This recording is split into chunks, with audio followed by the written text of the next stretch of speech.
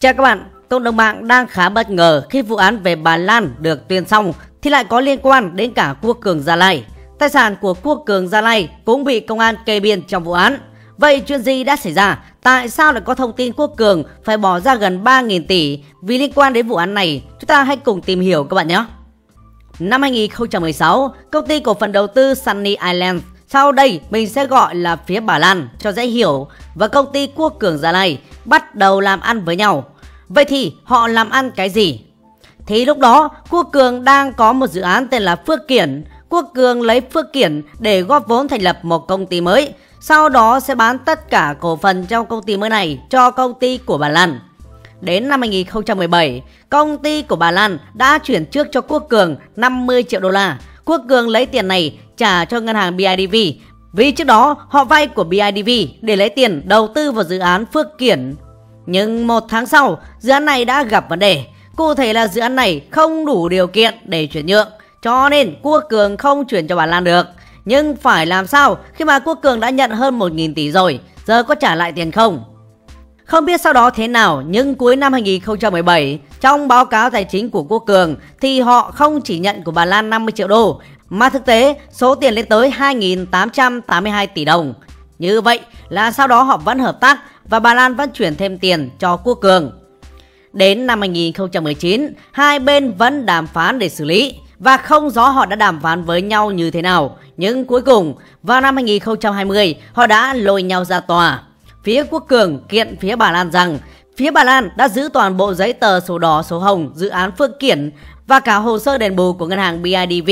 Rồi phía Bà Lan thì lại kiện ngược lại phía Quốc Cường là gian dối trong pháp lý dự án, cho rằng Quốc Cường đền bù được ít hơn so với những gì mà họ nói. Cụ thể là theo báo Dân Việt, lúc ký hợp đồng thì bảo đền bù được 92%, tổng diện tích của dự án là 81 hecta vậy đã đền được khoảng 72 hecta Tuy nhiên thực tế Quốc Cường chỉ bàn giao được có 64,8 hecta thôi. Vậy nên phía Bà Lan mới bảo phía Quốc Cường là gian dối. Vụ này sau đó cơ quan chức năng đã quyết định không khởi tố. Vậy nên vụ việc vẫn chưa đi đến đâu. Lúc này thì thông tin về dự án được hé lộ thêm một chút. Đó là giá trị giao dịch giữa hai bên lên tới 14.800 tỷ đồng. Ban đầu thì như các bạn đã biết, Quốc Cường nhận được 50 triệu đô la, tương đương khoảng 1.100 tỷ. Sau đó họ nhận được thêm 1.732 tỷ nữa. Tổng số tiền Quốc Cường đã nhận là 2.882 tỷ, tương đương 19% giá trị hợp đồng. Nhưng mà Quốc Cường lại bàn giao cho phía Bà Lan tới 65 hecta đất, tức là khoảng 71% diện tích đất. Vậy là Quốc Cường đã bàn giao quá nhiều so với số tiền họ được nhận.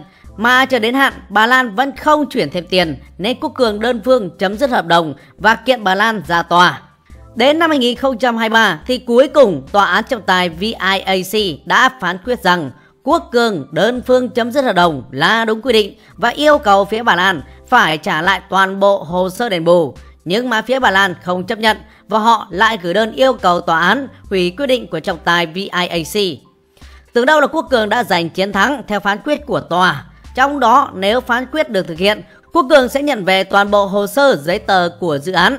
Nhưng mà chỉ cần phải trả lại cho bà Lan có 50% tiền đã nhận, nghĩa là nghiễm nhiên họ lãi tới 1.400 tỷ đồng.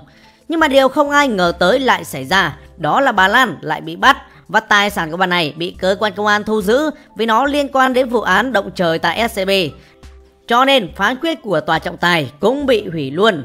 Giờ thì số giấy tờ đất của Quốc Cường đang nằm hết ở tòa rồi. Tòa đã kết tội bà Lan và số tiền 2.882 tỷ mà Quốc Cường nhận được từ bà Lan là tiền phạm pháp, là tiền mà bà Lan phạm tội mà có. Vậy Quốc Cường muốn rút được hết giấy tờ đất về thì phải trả lại 2.882 tỷ này cho tòa. Như vậy, chúng ta đã tìm hiểu về câu chuyện làm ăn giữa Quốc Cường Gia Lai và công ty Sunny của Bà Lan và cũng đã hiểu tại sao Quốc Cường giờ lại phải lo khoản tiền gần 3.000 tỷ nếu muốn lấy lại hết số giấy tờ đất trị giá đến gần 10.000 tỷ của mình. Cảm ơn các bạn đã xem video. Xin chào và hẹn gặp lại.